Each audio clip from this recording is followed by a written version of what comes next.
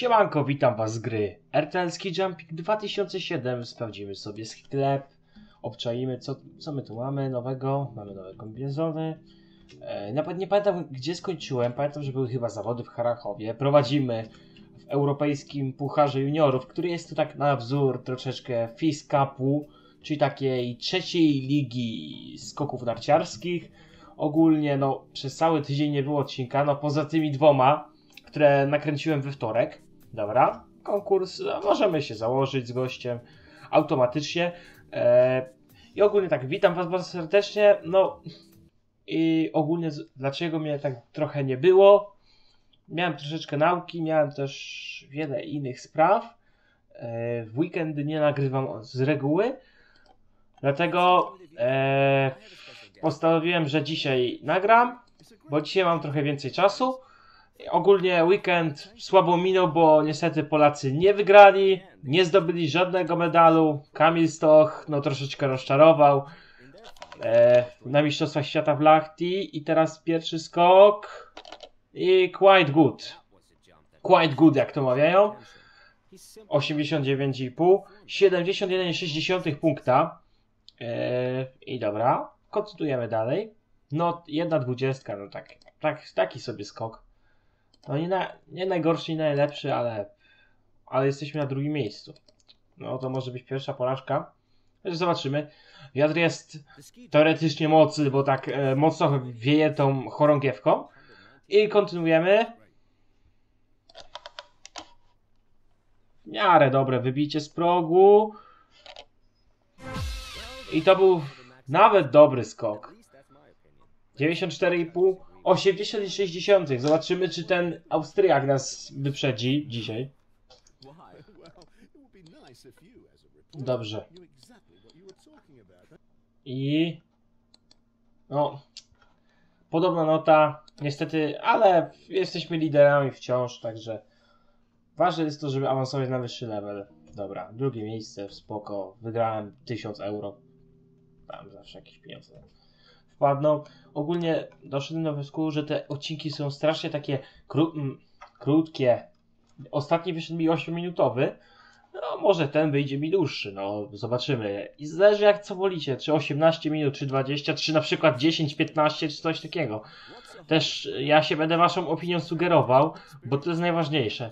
E, I odnośnie w innych serii, bo tak, e, skończyłem nie skończyłem serii z Call of Duty, skończyłem ją nagrywać na 12 odcinku, a tam jeszcze troszeczkę zostało do przejścia, także mam pomysł. E, dokończymy tą serię z Call of Duty, nie wiem kiedy ją e, reaktywuję z powrotem i potem zastanowimy się jakie jeszcze gry możemy nagrać.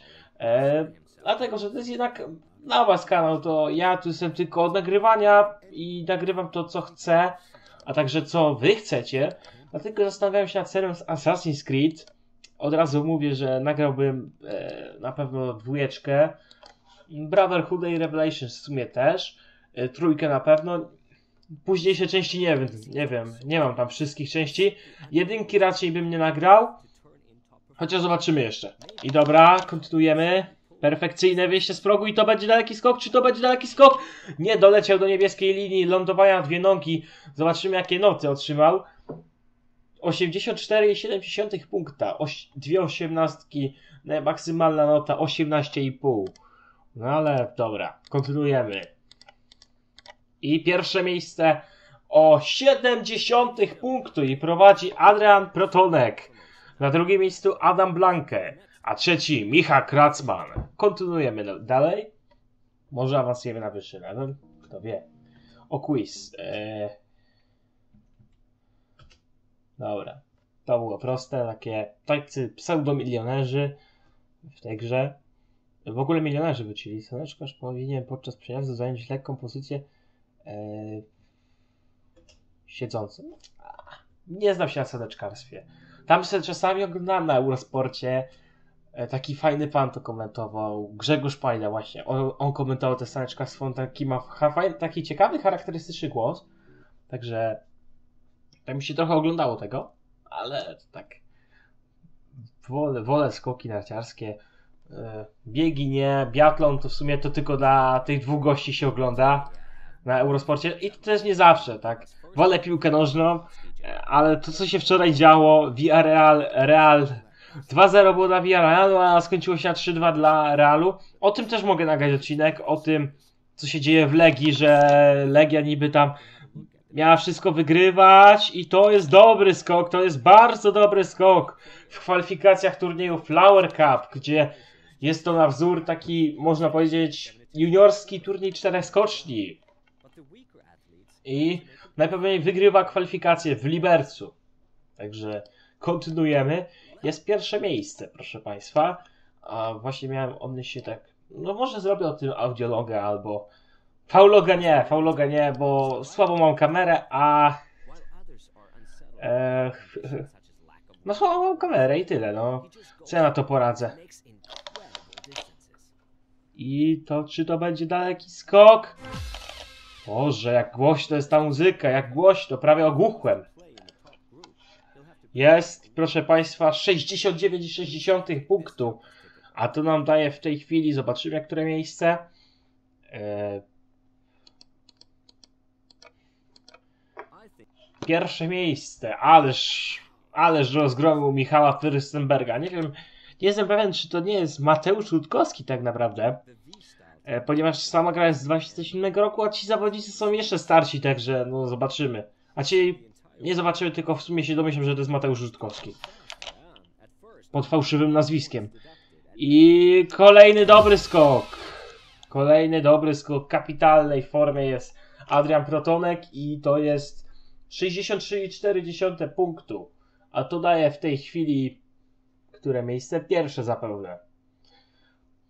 Publiczność bije brawo dla Adriana Protonka i jest pierwsze miejsce, proszę Państwa. Kontynuujemy i prowadzi w, e, we Flower Cup. Także pierwsze miejsce. O, kolejne te, kolejne punkciki podzielimy sobie na dwa. Technika lotu i technika lądowania. Lądowanie, dlaczego nagle na lądowanie dużo? To bo lądowanie jest ważnym aspektem skoków narciarskich. O, Captain Kufel, no po prostu nazwisko super. Idealne dla piwoszy. A, czyli w sumie to, to. Ale fajne takie nazwisko Kufel, nie? No, chyba, nie wiem, czy byście się chcieli tak nazywać, ale ja nie. Osobiście tak uważam, że Kufel to takie średnie nazwisko, Raczej w sensie średnie takie, że żeby tak mieć nazwisko, to jest kufel, właśnie kufel. No to takie nic nie znaczy. Dobra, jakiś korda. Dobra, kontynuujemy sobie giereczkę. Klikamy OK, bo co ja się tu będę e, chrzanił. No dobra. Teraz e, zakopane. E, zakopane i tutaj Zakopane lies in the heart of. I have Colin Phillips with me, an institution. At least I can support. Next round in the flower. Dobra, kontynuujemy sobie e, skakanie. Oh.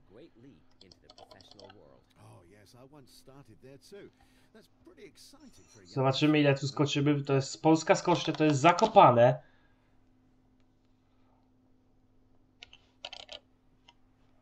No dobrze, że utrzymaliśmy równowagę po lądowaniu. No i jest dobre miejsce. 92,5, can still be 66,5 punktu i zobaczymy na którym. Star startowaliśmy tutaj jako ten. Jako ostatni w kwalifikacjach. Cieka śmiałbym się, gdybym był lucky loserem. No nie jestem lucky loserem. No. Paul Haverl. Serio ten gościu nie wszedł. Wygrał kwalifikację i nie wszedł. No po prostu to jest mistrzostwo świata czasami tutaj, co się tu dzieje.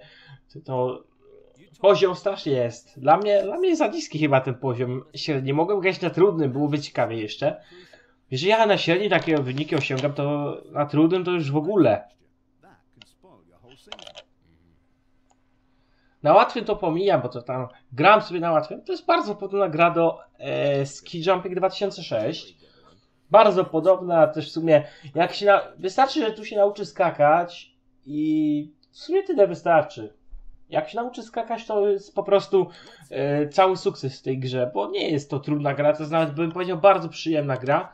No i widzicie, no 60, no nie no 60 to nie jest, e, 59 punktów przewagi nad, e, nad Rutkowski, no to to jest różnica dramatyczna.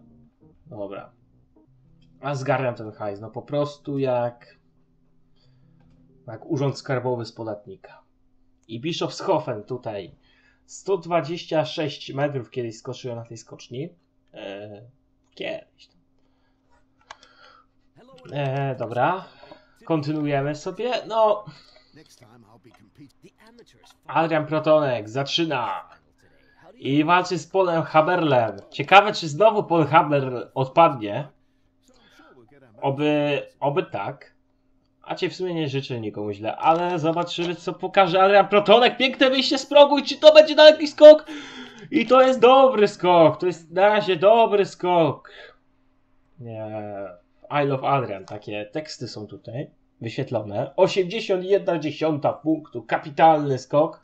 Bardzo wysokie noty i ogólne zadowolenie kibiców. A zwłaszcza fanek.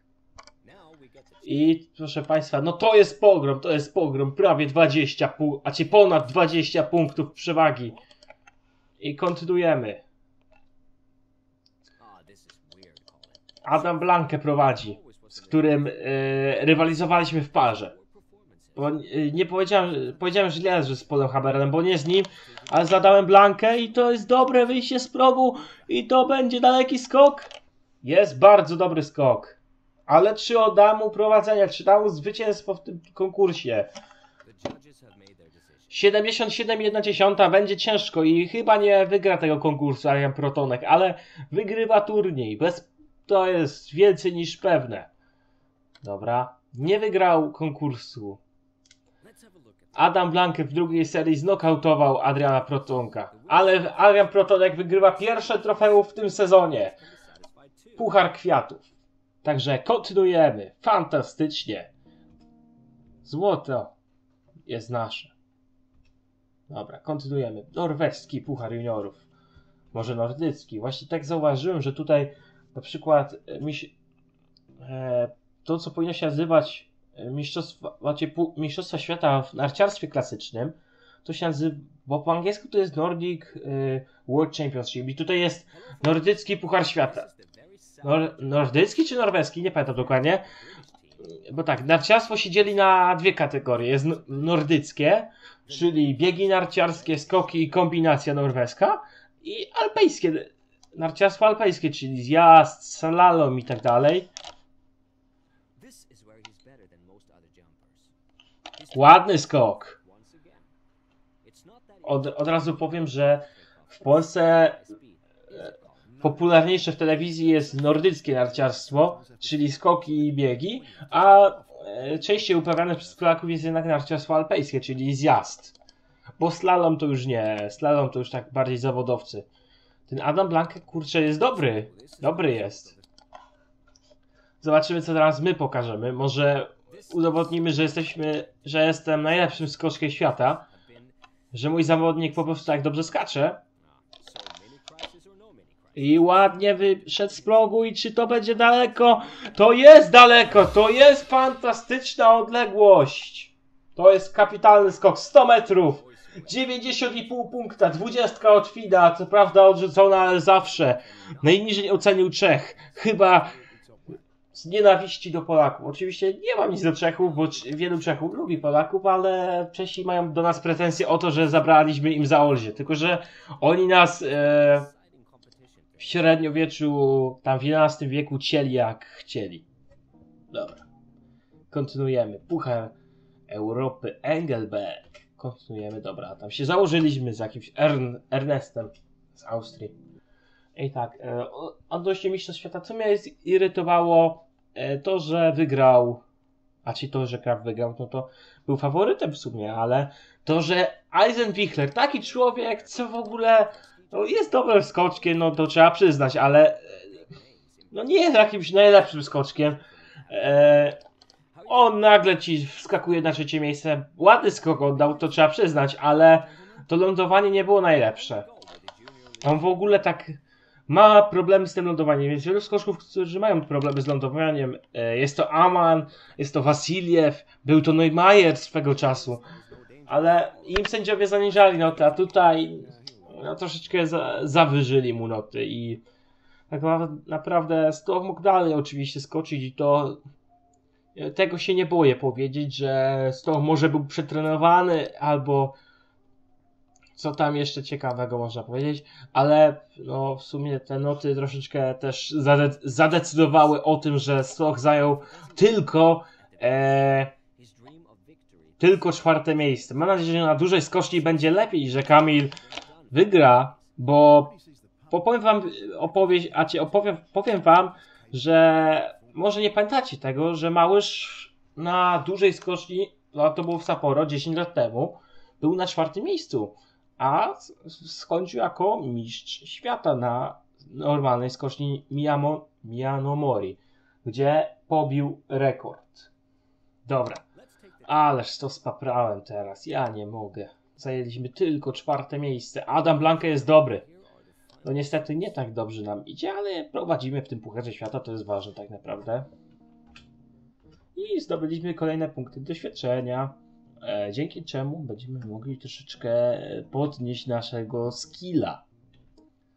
E, 7.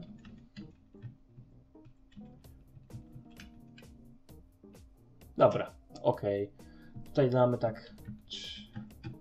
Popularność będzie bardzo wysoko. O, 800 euro. Nowe rzeczy w sklepie. Nie wiem. Raczej zbieram, od razu mówię, że zbieram na te najlepsze rzeczy. Nie ma co owijać w bawełnę i myślę, że już Google mam prawie wszystkie. Wiązania mam też, no. Tylko tych najlepszych nie mam. Ale to tam. Od razu mówię, warto czasami oszczędzić i jak to mówią, człowiek oszczędza całe życie na przykład na samochód, a nie wydać wszystko, bo to też tak nie zawsze ma to sens. Lepiej, lepiej oszczędzić na coś lepszego i bardziej potrzebnego, niż wydać to na głupoty. I to taka jest zasada, której wielu ludzi nie stosuje. Ale to nie jest audiolog poświęcony ekonomii e, czy zapotrzebowaniom ludzkim, tylko skoki, ale tak tłumaczę, tak tylko. Także kontynuujemy. Jest skocznia Willingen, największa, duża skocznia na świecie. Pozostałe większe od Willingen to już są mamuty. I są sześć mamutów. Nie wbrew pozorom temu, co wszyscy mówią, jest pięć mamutów, jest sześć mamutów. Tylko, że jeden z tych mamutów, e, Ironwood w Stanach Zjednoczonych, jest po prostu nieużywany. Jest nieczynny, bo tam, no, powiedzmy sobie, że Ameryka to jednak nie dba tak o skoki jak Europa, jak, zwłaszcza jak Niemcy, Polska i Norwegia i Austria, bo to są cztery nacje tak naprawdę dbające o skoki. Nawet Słowenia, która ma tam, a czyli która jest dość silna w tych skokach, tak nie dba aż tak o te skoki, bo zauważcie jak Puchar Świata jest rzadko w Słowenii, no tylko ta planica, to jest, to jest piękna skocznia i tam rekordzistą był Polak, nawet dwóch Polaków było rekordzis, rekordzistami tej skoczni, Małysz i Piotr he's a jeszcze był słaby skok, 60,2 Jakub Janda yet. o Jakubie Janda, e, komentator czy wspomniał o Jakubie Jandzie, no autor najkrótszego skoku na skoczni mamuciej, no Adam Blankę goni nas, no już jest bardzo zbliżył i mogą być problemy z wygraniem tego. Dobra, kontynuujemy. A teraz norweski Puchar Juniorów, także no troszeczkę odpuszczamy troszeczkę rywalizację w Pucharze Świata. No i kolejna skocznia, tym razem Oberstdorf. Mm, Dobra, kontynuujemy. E, I dobra, i. I'm looking forward to watching the Nordic youngster today. Mark. I skaczemy, za chwilę będzie ładny skok.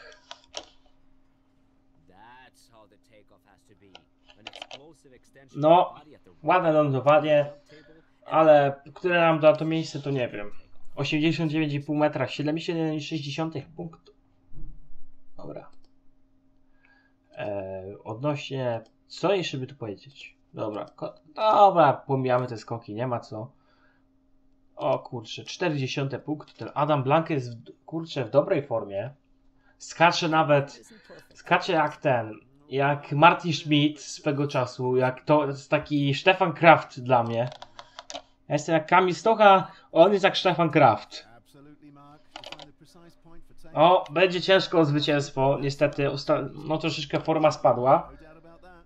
83,6 punktu, czyli nie będzie zwycięstwa. Będzie drugie miejsce. I troszeczkę nas dogoni w tym norweskim pucharze jun- juniorów. No i przegraliśmy o, no, o 4 punkty. Ale mamy dużą przewagę jeszcze. No, może nie prędko nas dogoni. Dobra. E, motywacja nam spada. Wygraliśmy kolejne pieniądze. Puchar Europy Juniorów. Dobra. I są szóste zawody. Tutaj Roar Jokelsey jest rekordzistą. Z- W tej grze jako Roar Lilleström. Lilleström. Jak, normalnie jak ten Lindström. O, właśnie. O tego skoczkę mi chodziło. I dobra, trzeba postraszyć troszeczkę pana Blankę, bo sobie chłopaczek, a cię chłopek sobie za dobrze e, this Trzeba uważać na niego, bo on może nam odebrać mistrzostwo. Perfekcyjne wyjście z progu, bardzo wysoko. A i zabrakło odległości. Troszeczkę zabrakło. Normalnie, mówię, ten Blankę wyskoczył jak Stefan Kraft. Teraz ma dobrą formę. Dobra, kontynuujemy. No, troszeczkę słaba pozycja, szósta w kwalifikacjach. Chciałem, a skakałem dlatego, że chciałem tylko postraszyć pana Blankę. Dobra. I ruszamy w dół. Jeżeli przegram to, to się wkurzę. Po prostu się wkurzę. Pie perfekcyjne wyjście z progu. I jednak nie tak daleki skok. Stać było go na więcej. Jest słaby psychicznie. Nie wytrzymuje tego. Trzeba będzie zatrudnić trenera, który pomoże odbudować motywację tego zawodnika. Który niby jest w czołówce, ale przegrywa z Adamem Blankę, a to oznacza, że ma coraz gorszą sytuację w Pucharze Świata. Musi na niego uważać, naprawdę. To jest duże wyzwanie.